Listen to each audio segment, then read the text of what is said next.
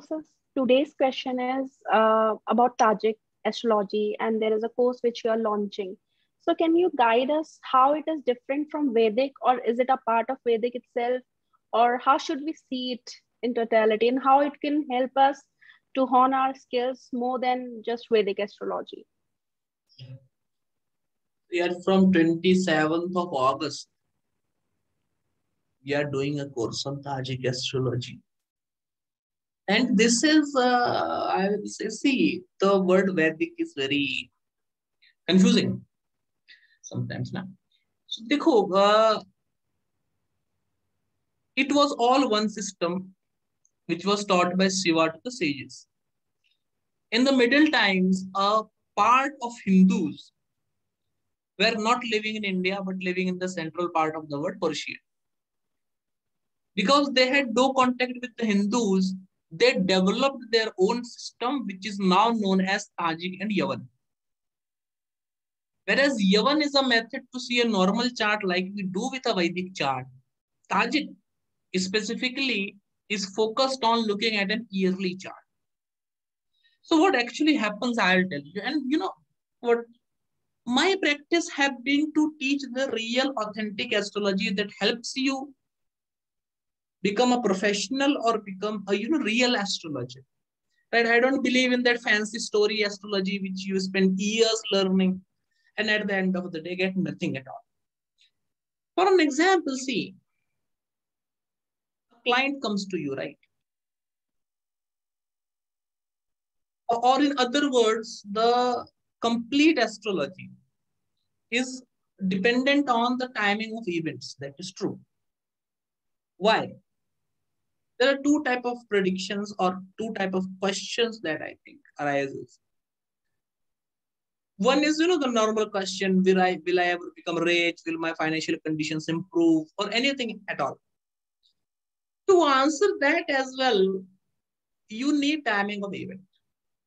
No one is rich for a lifetime. No one is poor for a lifetime. No one is happy for a lifetime. So you technically have to predict, you know, from where to where the, from what time to what time money will come, at what time money will be high, at what time money will be low, right? So 40% as a practicing astrologer, I see people, I read charts. Hmm? So 40%, this is the thing, you know, because nothing is permanent. And as Akbar said to Birbal, ye bhi. So everything passes. The second thing is 60% of the time in the consultation, the person will come to you with a question, with the prime question that is somehow the prime question of consultation, you know. Like I give a one hour consultation, the person have three, four prime questions. And after answering that prime question in depth, if some time is left, the person will ask the secondary question, territory question, whatever you say. So the primary questions are completely very much dependent on timing. The person will ask, sir, when will I get married? When will I have a child? When I will be able to own a home? When I will have a vehicle, etc., etc. This is all dependent on timing, right? So right. timing is very essential. See, what is Jyotish? It is the science of time. Right. So timing of event is very essential, right? This leads us to Tajik normal astrology. To time, you have four things in hand. Dasha, transit, progression, and a natural year of activation. These four things. Coming to Dasha, I know of more than 300 Dashas. Some astrologers only know one Dasha, Vimshotri Dasha. But of course, that Vimshotri Dasha doesn't work always. Hmm? In 20% of the charts, Vimshotri is applicable, it will work. In other charts, Vimshotri is not applicable, it will not work. So if you have read books on astrology, you will see that there are many rules to, you know, read Vimshotri Dasha. Now the problem is when you do a post-mortem analysis, when you see you know why this event happened at this time why this thing happened at that time you will use one rule from the set of 15 20 rules and will predict the event But when it comes to predicting the future event, can you apply all the 15, 20 formulas and find an event? No. It is not possible to apply all the 15, 20 formulas of you know judging Vimshottari Dasha and give a result because every formula will give you a different result. That's point one. Point two is as I told you, you know, I know of some 300 dashas. Some of them are conditional, whereas some of them are always applicable. So, you know, like. Bharati Vidya and other institutes like this, recommend using, you know, two, three dashas simultaneously to time an event. Right. right. But uh, you know, like those two, three dashas, of course, indicate the same event, by the way. But still, it becomes very difficult for a normal student, for a beginner, to apply the three dashas and come to a result. Right. Yeah. Suppose a primary event, I want to time marriage. I use three dashas and somehow all the three indicate marriage, that is okay. But not all of them indicate a good marriage. Right. So in one case, it is Mars in the 12th house aspecting the 7th house indicating marriage. In another case, it is the in another dasha, it is the dasha of the seventh lord in the ninth house, which is indicating marriage. And in the third dasha, it is the lagna lord in the lagna aspecting the seventh house indicating marriage. Now, as per that dasha, where the dasha of uh, Mars is running, that is from the 12th house, aspecting the 7th house, according to that dasha, there should be a marriage and the result should be bad. Whereas according to other two dashas, there should be marriage and the result should be good. So though you are able to time marriage, but you cannot say this is going to be a good marriage or a bad marriage. You know, this problem comes. So what happens with Dasha, first of all, there are lot many rules and using all these rules, it is very difficult to predict an event. And because it is very difficult to predict event using Vimshottari Dasha, only for this reason, Nadi system, KP system, XYZ system have came. So that people mm-hmm. should be able to predict using Vimshottari Dasha, but still even after learning all of these systems, they are not able to predict. Right? right. So Nadi system, KP system, 20, 30 rules of uh, Vimshottari Dasha from classical system. Using all of this, you will not be able to predict an event. Postmortem analysis, one can do very good. Future analysis, they can employment of more than two, three dashas to time and event. Like learned people like you, I have seen you predicting a marriage for one person using Char Dasha, Vimshotri Dasha, and Kalchakra Dasha, the set of three dashas. But you are an advanced right. student, you can do. Right. But new students will get disheartened, they will not be able to do this. So timing an event using Vimshotri Dasha is first of all very difficult, tedious time taking. And second, there is no surety. Yeah, it is very time taking. Like just consulting one single person takes such whole lot of a time and you are just talking about dashas right now. But you know very well that we also use progression then transit and several other parameters as well right? So how does it help? How does uh, tajik consolidate all of this? Yeah. So you know uh, using dasha it is difficult i will continue from where I, I was there from dasha it is difficult right? And now coming to transit. Suppose someone is having i want to time someone's marriage. And jupiter is in the 10th house right now for the person. Next year he will go to 11th house will aspect the 7th house. In two years he will reach in the ascendant will aspect the 7th house in two more years, he will reach to the third house and will be aspecting the seventh house once again. Out of these five years, when the person will get married, I cannot predict because it is happening very often. In a total of 12 years, the transit of Jupiter influencing the seventh house will happen four times. Now, in that four times, when the person will actually get married, I cannot say. It is confusing. Getting my? This becomes a confusion. And if a 25 year old person comes to you, you see, okay, next year Jupiter will go in the 11th house. You say next year the person will get married. But what if the child is 15 years old and his mother comes to you? Then it will become very difficult to predict things using transit. That's why it is not widely used. People use transit only over dasha to further, you know, be sure about the event. This indicates a handicap of dasha as well as of transit. Same is the system of progression. Progression will happen again and again, and there is no method to decisively decide that this progression itself will do it. If you wanted to decisively decide when the thing will happen, you will have to use a combination of Dasha, transit, and progression, all three. It becomes tedious, time taking, and still at the end of the day, you are not very sure. Employing the three thing, it will take a whole lot of time. It is a mind boggling thing. And the last thing is the natural fructification of planet. I will ask a simple question. Mars fructifies at the age of 28. You take the chart of 500 people who have Mars connected with their seventh house. Aspecting the seventh house, in the seventh house, with the seventh lord, etc. Take 500 chart, you will find only 10% of them got married at the age of 28.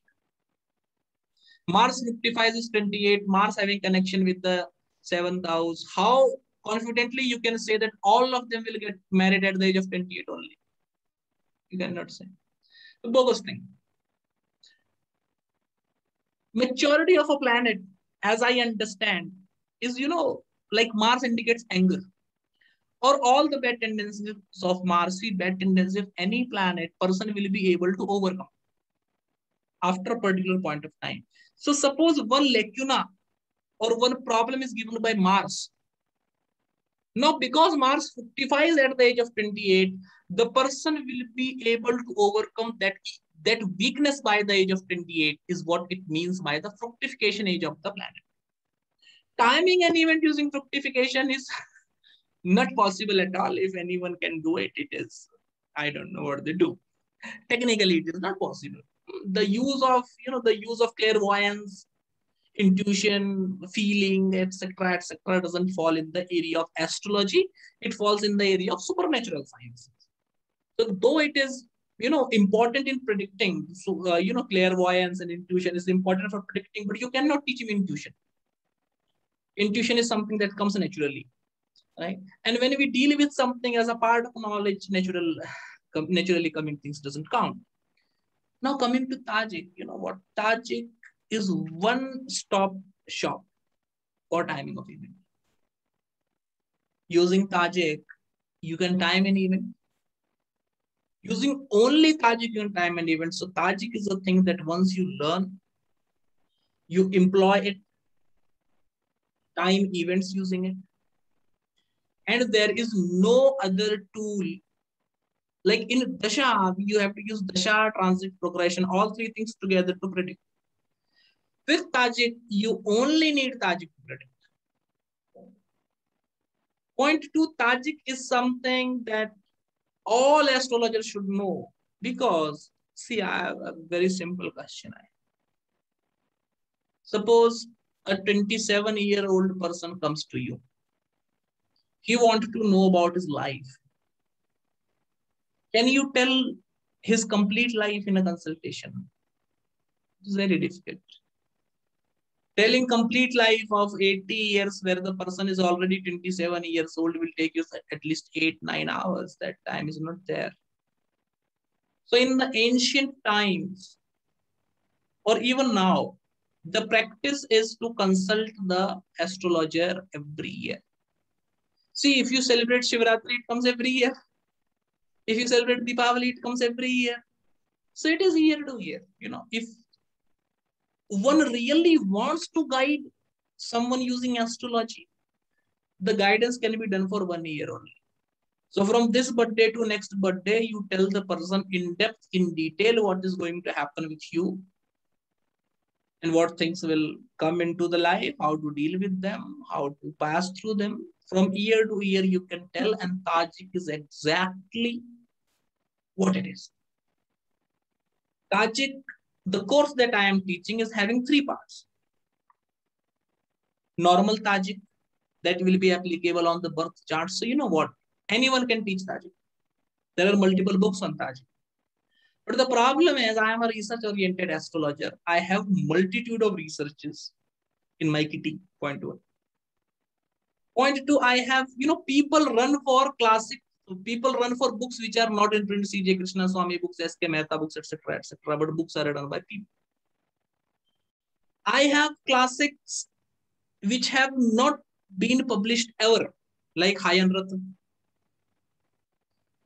and Jatak Tilakam, Jatak, multiple texts are there. I have those Sanskrit texts, and as you know, I know Sanskrit as well. So taking that treasure of classics that have unpublished up to this extent, that have been only into the manuscript libraries up to this extent, I am. I have culled out very important principles of Tajik astrology, which I am going to teach in this course, which no one else can teach. And I will be very sure into it. There, there have been a you know, there have been a trend of copying my courses and teaching courses similarly, but whatever. So the, the course is divided into three sections. One is taking the normal chart. The first part is the principle of Tajik astrology, which will be applicable on the normal chart, normal chart which you see as a Parashari chart or whatever principles of Tajik astrology applicable to that normal chart. And you know, I will tell you one very important thing. See, it is the weakness of Vedic astrology, but because people know only one system, they don't know the weakness. That is the thing. If you have driven only one car, you don't know the weakness of it, right? Because you think it is only thing that is available. That happens with Maruti 800 in Indian scenario when it was launched, right? Whatever like in Taje, there is a concept which Rashi loves woman to what extent? Which Rashi loves woman to which extent? Istri Sang. Now, this is not in normal astrology, but in Tajik astrology, there is a quantum that Leo have no interest in woman. Leo hates woman. So person having Leo in the seventh house, Aquarius Lagna person, or person having their seventh lord in Leo, they are not likely to have a relation, have relationship. They are not likely to have extramarital affair. Indeed, they will rather hate women. They will not like to be in contact with them. Though once again it, it is specified, but you know this particular concept of which Rashi loves the company of woman and loves the company of woman to what extent? Like you know, like Virgo loves woman a lot. Virgo wants to be surrounded by women always. So this principle is not there in Vedic Jyotish. So you know this. Uh, so because this principle comes in Tajik, it makes the prediction of marriage, extramarital affair, etc. very easy, right? So many such small small bits of you know power, the power packed punches, is there in Tajik history but that is not there in normal astrology, right? These things we will learn in the first section, and when you apply it to your normal chart, your predictive level will go to the next extent. Your practice of astrology will change forever.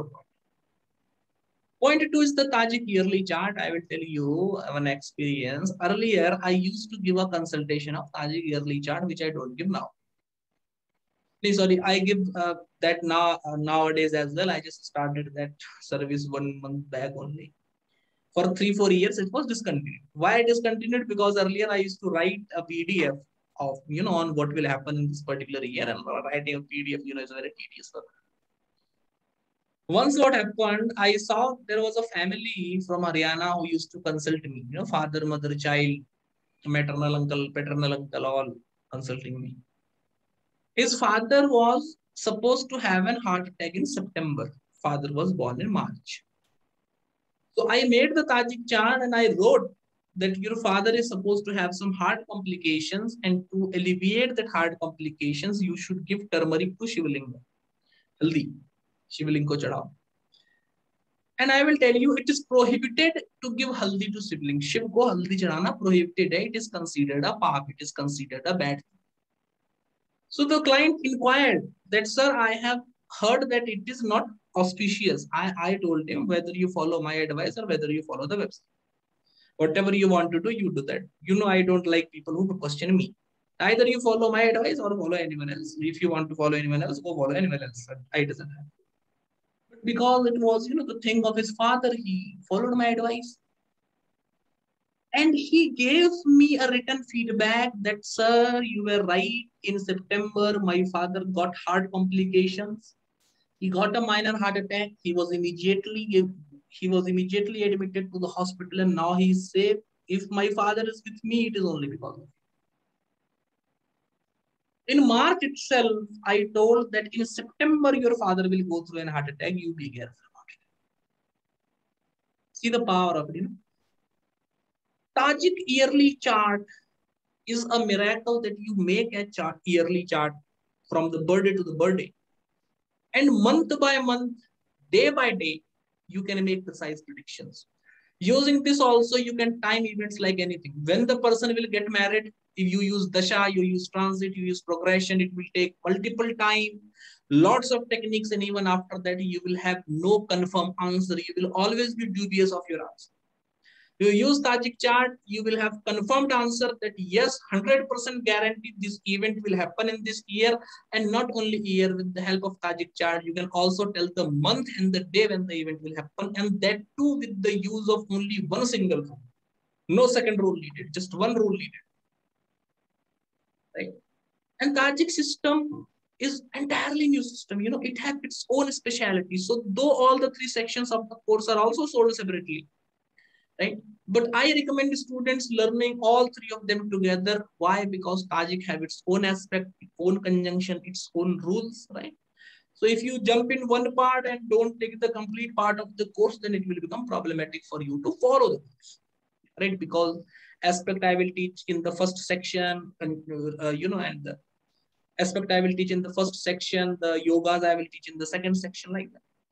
So this is the second part of the Tajik, making an yearly chart and, and predicting it, what will happen in this particular year. And that is so precise, so good. Once you learn this, your practice will change. I have, you know, I, I talked about it in my Yogini Dasha course. And few students like Ankit Putra have tried it. And they will take a pledge by the result what they are they have been sending me messages, sir, this thing has changed our life, changed our practice, took it to the next level, whatever, whatnot. I have just shared a glimpse of it in the Yogini Dasha webinar that I did earlier. And the third part of the course is Tajik Prashna. You know, there are a whole lot of rules in Prashna. And to decide a result based on Prashna, whether you will get the job or not, whether you will get the property or not, or anything is very difficult and tedious task. Prashna, though being very simple, many cannot master it, but Tajik Prashna is what I can guarantee you. The one who have done the course and is well known with basics. The one who does the course should know basics at least, right? Though I will come start the first batch, the first class from basics itself, right? And will continue. Suppose today the course ends and by the end of the course, you're proficient with the basics and all the rules that I have taught. After that, I can give in return that in two minutes, you will be able to answer the question. That yes, this thing will happen, no, this thing will not happen. Yeah. That is the third section of Prashna. Yeah. Right? Am I clear questions, about the structure of the course? Yeah. Yes, yes, very clear. And even I've seen uh, in my own practice that even using it uh, for questions like should i start a business in this year itself or not even questions like these can be answered very well by tajik yeah. and uh, i've also heard can be answered very well by tajik and also the timing of you know even in prashna timing that sir i will get married if i say you yes you will ask sir in how many days how many months yeah. how many years so even the yeah. timing in prashna is very easy with tajik precise in four precise. in four months you will get a you will get a rishta in four yeah. months you will get across a lady who will say yes to marriage etc yeah. yeah that is there and there are also certain combinations which are based on the speeds of planet specifically for tajik there is also a concept of uh, yearly lord and seeing its placement in tajik and then comparing the natal ascendant lord and several other things as well so yeah. we'll be covering all of that in the yeah. course yeah, Okay. All the Tajik aspect, the Taji yoga, Itsal, Mutsal, Yamiya yoga, yeah, right. all these yoga that is based on the speeds of the planet, the Tajik aspect, the year lord, the placement of the year lord in the chart, and how events are going to manifest. We are going to cover end to end of basic Tajik, end to end of hmm. Tajik we will be covering in the course. After that, there will be advanced course on Tajik. But to go to that advanced course, this will be an essential step. So don't plan to buy it later because later it will it will be an there will be an advanced version of the course and then you will have to purchase the advanced version as well as this version because in the advanced version i will not be teaching basics right so end to end of tajik covering reading a chart through tajik predicting an yearly chart through tajik and taking a prashna through tajik. These three things end to end basic to advanced will be taught in the course. And how it is different from general transit? Uh, people may confuse it as a transit chart or as a solar return chart. So how can we see it is solar return chart it, it, it itself is the solar return chart.